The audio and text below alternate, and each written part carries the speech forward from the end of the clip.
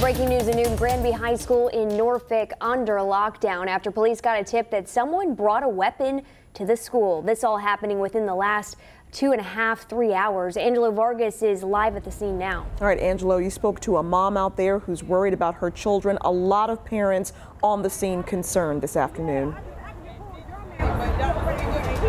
Yes, that's right. And we just got an update from Norfolk Police Captain Hicks, who made an announcement to the crowd here, and the crowd is continuing to grow. He did say that the school is still on lockdown, but everyone is safe inside. As you know, earlier today, police just taped off the entrance to Granby Street. Police say they are investigating a person with a weapon at Granby High School. This happened around 1045 this morning. Police say and parents say they saw five people walk out of the school in handcuffs. I also saw some of those people walk out as well, being escorted into police units. We spoke to Tammy Dewar, who says she rushed here from work after she got a call from one of her children's counselors to see what was going on at the school.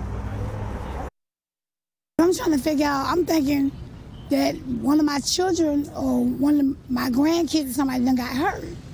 So that's why I come out here. I just want to know how that happened.